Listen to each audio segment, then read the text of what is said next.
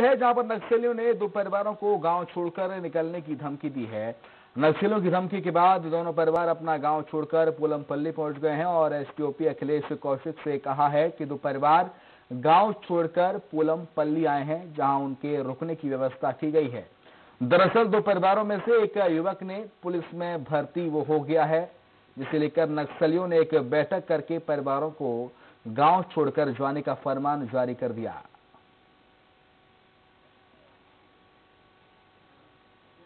कल शाम से पूनमपल्ली आए हुए हैं और उनको हम लोगों ने पंचायत भवन में रुकवाया हुआ था कल शाम से।